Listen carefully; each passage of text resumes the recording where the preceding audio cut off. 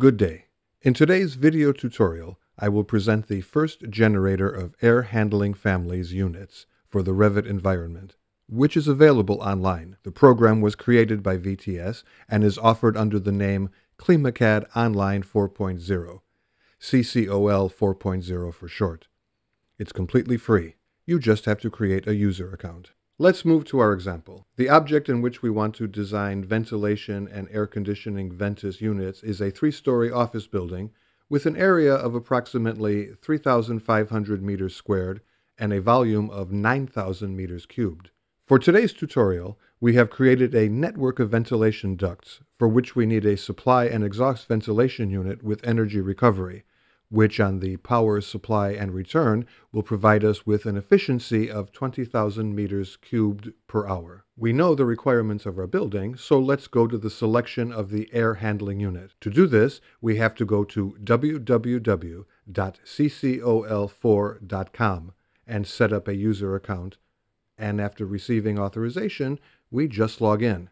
I have already set up an account, so I go to the unit selection. Let's create the project under which our selection will be available. To do this, I click Add Project, and in the window that shows up, I enter the name of the project, for example, Office Building, then select the location, Poland, Krakow, and click Save. The created project is added to favorites by clicking on the star. Then in the side menu, I choose our project and I click Add Offer. A window appeared with VTS products, so I choose Air Handling Units. In the next window, I have a device configurator, so I choose the type, Ventus VVS device, the level of the base, two vertical levels, type of device with rotary exchanger, and mounting on the floor. The system suggests ready arrangements of devices, and for our building, I choose the following device. I click Save and move on. In the next view, we have our selection. If you would like to change something, just move the selected element, for example, the filter from the top menu, and leave it in the selected location in the air handling unit. In the next window, we define the efficiency, we determined that we need a device with an efficiency of 20,000 meter cubed per hour, so let's enter such a value. At this point, the system tells us the possible sizes of devices that are able to handle such parameters. So I choose VVS 180 and click Next. The next window is a list of all parameters of our selection. At this stage, I can still change them depending on our needs. Let's choose the automation. For this purpose, I click on the side menu and choose its individual options. Then I click on the calculator icon in the top menu to convert the offer. After converting the offer, CCOL presents the result of the selection in the form of a technical report with all the parameters of the device. The last step is to confirm the offer. To do so, I click on Calculate Offer in the top menu. At this moment, the offer status has changed to Succeed and we can go to the window from which we will generate our air handling unit in the Revit file format. To do this, I click Generate Reports. We can see that a window has appeared in which you should enter the user details to which a message will be sent with a link to download families. Then, enter your data and click Generate. The system needs a few minutes to generate models. Let's check if something has changed, and you can see that the status of our object has changed to Generated. So in a moment, I should receive an email with a link. I have just gotten an email. I click on the link and I get to a page from which I can download our model. I save it to a disk in an appropriate location and I go to a project in Revit. The next step we need to do is load the family into the project. I go to the Systems tab, then Mechanical Equipment, and Load Family, and then I search for my family in the appropriate location on the computer. I select the family file and click Open to load it into the project. You can see that the appropriate family has appeared in the list of properties. We can also track it in the project browser.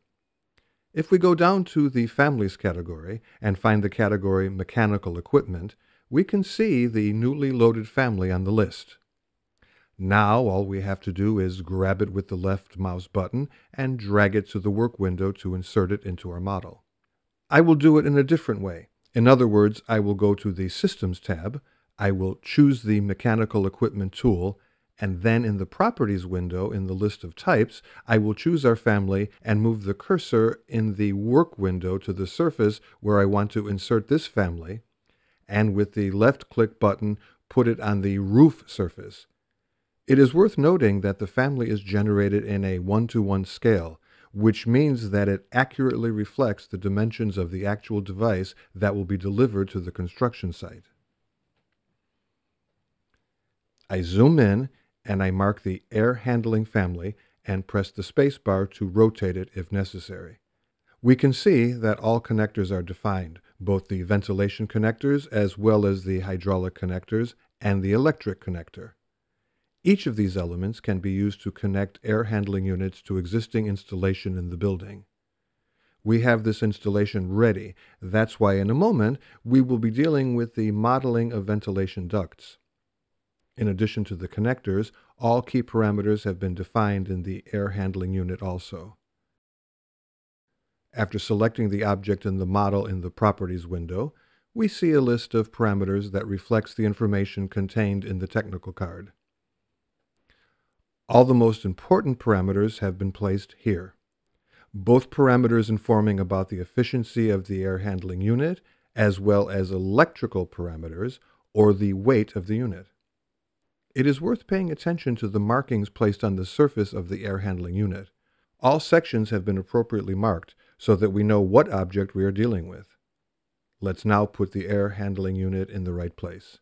For this purpose, I go to the roof plan in the project browser, roof level HVAC and run the Align tool in order to move the air handling unit to the right place. I click first on the reference plane to which I want to adjust the location of the air handling unit, and then to the right edge of the unit itself. I go to the longitudinal section view in order to raise the air handling unit upwards exactly the same way. We can see that from that moment the air handling unit stands on the plinth in the right place. Let's start modeling ventilation ducts. I mark the air handling unit and use the already defined ventilation connectors. Let's start with the top track. I click on the connector symbol. The program launches the appropriate tool, and we start modeling and join the existing installation. And the same thing is done at the bottom. I again mark the air handling unit. I click on the connector to start modeling ventilation ducts, then change the size, width, 1100, height 1300, and attached to the existing installation.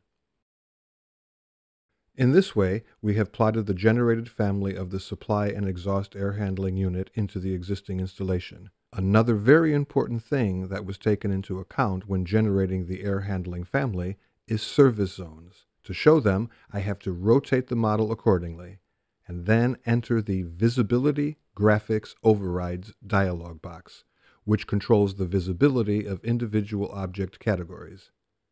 And then, on the Model Categories tab, I am looking for the category of mechanical equipment and click plus on the left to expand the list of subcategories.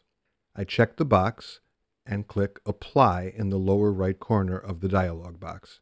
And you can immediately see that a service zone has appeared in the background.